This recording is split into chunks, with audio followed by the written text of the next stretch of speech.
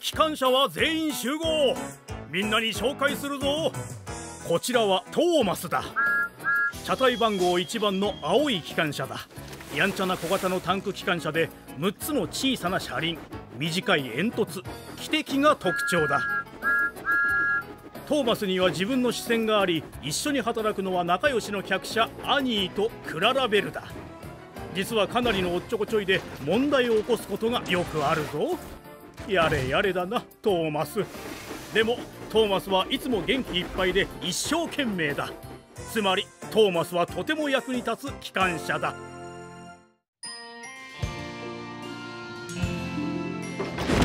こんにちはみんな。僕トーマスだよ。ソド島には蒸気機関車のチームがある。そうスチームチームって言うんだ。そしてここがティドマス機関庫。チームの仲間が休む場所だよ。これからみんなにメンバーを紹介するね。さーて今回登場するのは一体誰かな？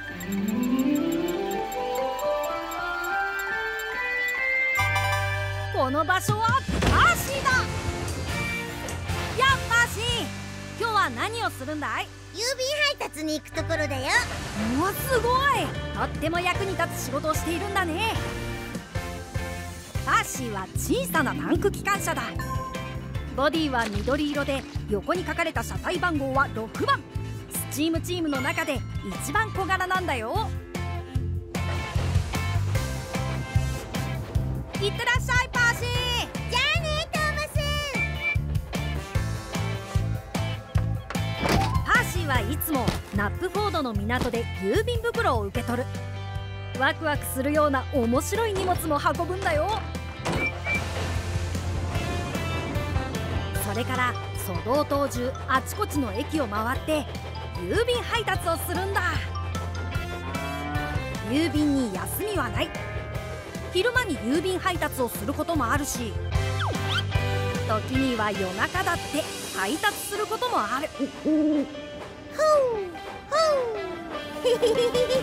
ーシーが一番忙しくなるのがクリスマスの時期だ。メリークリスマストナカイさパーシーはよく珍しくて変わったものに興味を惹かれてしまう。そのせいですぐに注意力が不足しちゃうんだ。んわそれにちょっぴりそそっかし。いいやかなりそそっかし。い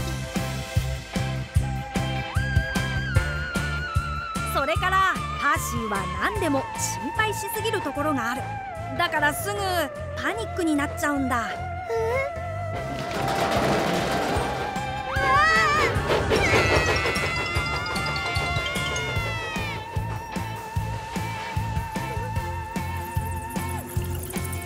だけどものすごく勇敢でもあるんだ。それに単に勇敢なだけじゃなくとっても親切で優しいところもあるよ。友達思いでいつだって仲間を助けてくれるのもパーシーのいいところだ。だけどたくさんあるパーシーの特徴の中で僕が一番気に入っているのはパーシーが僕の大親友だってこと。おやすみスチームチームのみんな。おやすみなさいです。おやすみ。おやすみトーマス。おやすみトーマス。おやすみ。おやすみトーマス。それじゃあみんなまた会おうね。次はスチームチームの他のメンバーのことを紹介しちゃうよ。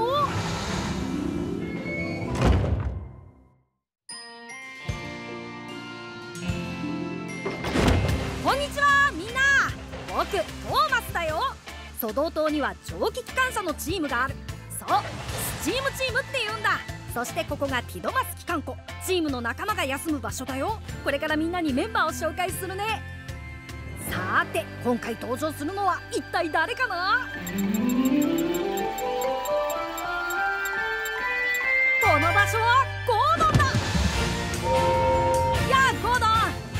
何をするんだい？いつもと同じ立派な仕事さトーマス。ソドー島のみんなのために急行列車を引かないとな。とっても役に立つ仕事だね。ゴードンはスチームチームで一番大きな機関車だ。ボディの色は僕と同じ青で淡水車の横に書かれた車体番号は4番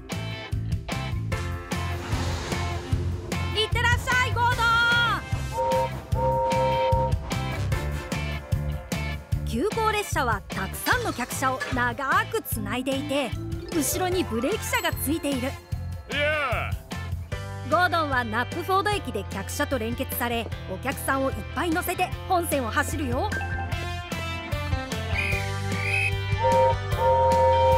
すごく力持ちなんだ。ものすごく力持ちだ。それにゴードンが走ってくるとすぐにわかるんだよ。有効列車のお通りだはソドー島でもかなり速い蒸気機関車なんだ。俺様は早くそして強い急行列車を引いてるんだからな。ゴードンは特別な機関車で自分の名前がついたオカマである。俺様の名前がついたゴードンの丘はな他のどんな丘よりも高いんだ。だが駆け上り駆け下りゴードンがそこで動けなくなったからゴードンの丘って言うんだけどねあれは俺のせいじゃない。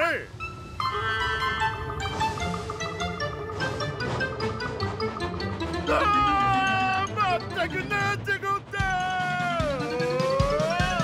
確かにゴードンはいつでも偉そうにしてる。でも本当に頼りになる機関車なんだよ。ある時彼は特別な仕事を任された。すごく特別なお客さんを乗せることになったんだ。ものすごく特別なお方だ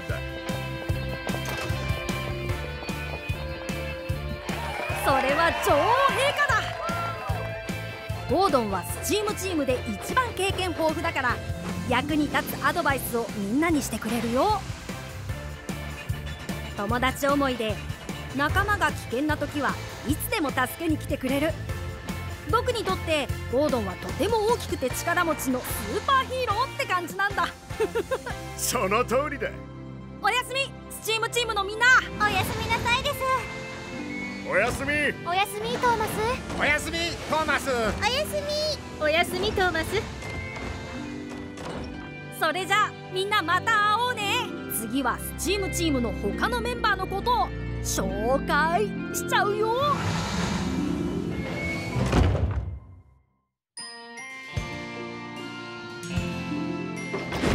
こんにちはみんな。僕トーマスだよ。ソドー島には蒸気機関車のチームがあるスチームチームって言うんだ。そしてここがティドマス機関庫。チームの仲間が休む場所だよ。これからみんなにメンバーを紹介するね。さーて今回登場するのは一体誰かな？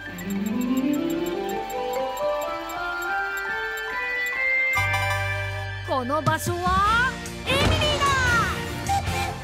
やあどうもエミリー。今日は何をするんだい？知ってるでしょトーマス。必要なことは何だってやるわ。だって私忙しくしているのが大好きなんだもの。うわそれはとっても役に立つね。エミリーは他のみんなとは違う機関車で客車と貨車の両方を引くことができるんだ。ボディは緑色でキラキラのドームがついている。エミリーの2つの大きな動輪はスチームチームの中でも一番大きくて立派なんだ。いってらっしゃい。エミリー行ってきますトーマス。また後でね。エミリーはとてもしっかりしている。走るスピードは速すぎず遅すぎずよ。そうすれば早く着きすぎることも遅れることもないの。私はいつだってきっかりぴったり時間通りよ。それにいつも正確なアドバイスをしてくれる。今日は雪かきが必要よ。滑りやすいからね。水をたっぷり入れておいた方がいいわよ。今日はすごく暑いから。ランプがつくか確認してね。霧がとっても深いから。あとエミリーはいつも安全に気を配っている。あら信号が故障してるみたいね。あのままじゃ危ないかも。すぐに報告しておかなくちゃ。やだ柵が壊れてるみたい。羊さんが線路に出てきちゃうわマッコールさんにすぐ知らせなきゃ。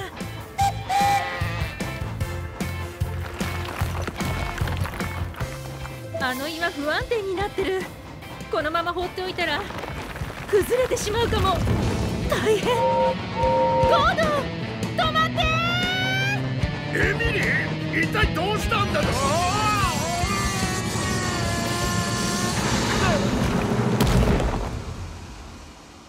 ありがとうエミリーすぐに教えてくれて助かったよ。無事でよかったわゴードン。エミリーは本当にしっかり者なんだ。だけどエミリーが僕にとって特別な存在で大好きな理由が他にもあるよ。それは彼女がいつでも仲間のことを考えていてくれるってところ。みんなお疲れ様。今日はいい一日だった？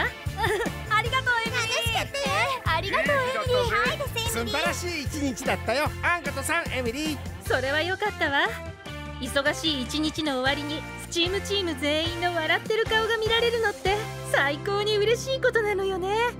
おやすみスチームチームのみんなおやすみなさいです。おやすみ。おやすみトーマス。おやすみトーマス。おやすみ。おやすみトーマス。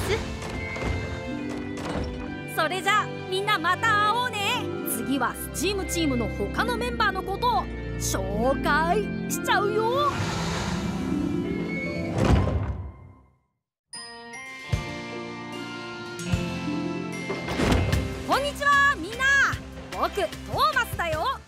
ソドー島には蒸気機関車のチームがある。そうスチームチームって言うんだ。そしてここがティドマス機関庫。チームの仲間が休む場所だよ。これからみんなにメンバーを紹介するね。さーて今回登場するのは一体誰かな？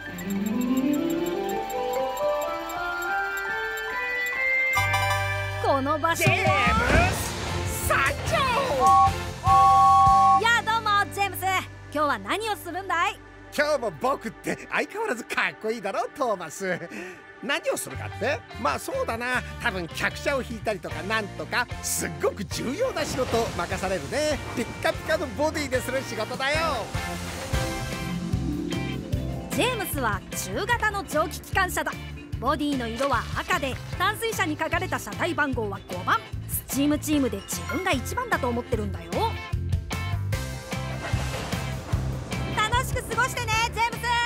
僕がいないと楽しくないだろうけどそっちも頑張れよ。ジェームスはナップフォード駅でその日に引く客車を連結される。もちろん真っ赤な客車だ。ジェームスは真っ赤なボディが自慢なんだ。その後で僕は誰よりもピッカピカの赤い機関車なんだロージーのボディも綺麗な赤だけどね。だけど僕には勝てないでしょ。前に黒いボディにもなった。すぐ赤に戻ったってばはピンク色になったこともあるよ。ああれは下塗りの色だっただけ。でも今はもう赤だしね。ピッカピカに輝く鮮やかな赤だ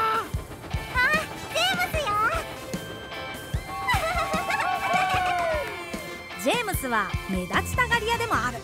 いやーまた大変な仕事を任されちゃったよ。すごく重要な仕事だな。でもやっぱり目立とうとしてばかりいると問題を起こしちゃう。ダメだ危ないぞ。なんだだけど幸いなことに。ジェームスの走りはすごく速いんだそれとジェームスは何にでも参加したがる。なのに自分には合わないと思ったり重要じゃないと思う仕事から逃げるのがとても得意だ。ええもちろんです。そのゴミの傘を。引きたいんですけどでもちょっと喉の調子が悪くて。さようなら。ジェームスは言い訳ばっかりするんだよねだけどたくさんあるジェームスの特徴の中で僕が一番気に入っているのはいつもみんなを笑わせてくれるところ。みんな聞いてよ。蒸気機関車の仕事はどうやったら上手くなると思う？蒸気源で働く。おやすみ。スチームチームのみんな。おやすみなさいですおやすみ。おやすみトーマス。おやすみトーマス。おやすみ。おやすみトーマス。それじゃみんなまた会おうね。次はスチームチームの他のメンバーのことを紹介しちゃうよ。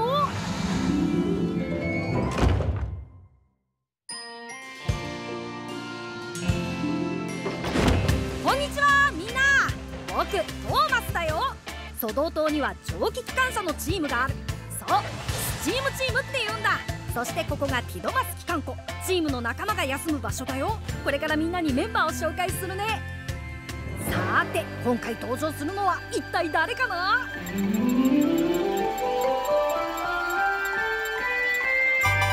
この場所はニアだ。どうもニア元気かい？とても元気よ。ありがとうトーマス。あなたはどう？僕も元気だよ。ありがとうニア。今日は何をするんだい？私にできることは何でもやるつもりよ。うわあそれってとっても役に立つ機関車だよね。ニアは客車も貨車も引けるタンク機関車でアフリカのケニアから来たんだ。ボディの色はオレンジで車体番号は18番。スチームチームの新しいメンバーだよ。それじゃあ仕事に行ってくるわねトーマス。うんいってらっしゃい。頑張ってきてねニア。ニアは貨車の入れ替えが得意だ。たくさんの貨車を押す。とにかくすごい数の貨車だ。実はとっても力持ちなんだよ。それにとっても明るい子なんだ。時々ちょっぴり調子に乗りすぎちゃうこともあるんだけどね。貨車だぞ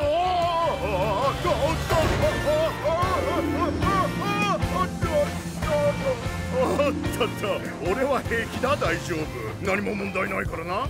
それからニアは動物のことなら何でも知っている。もう気をつけてね羊さ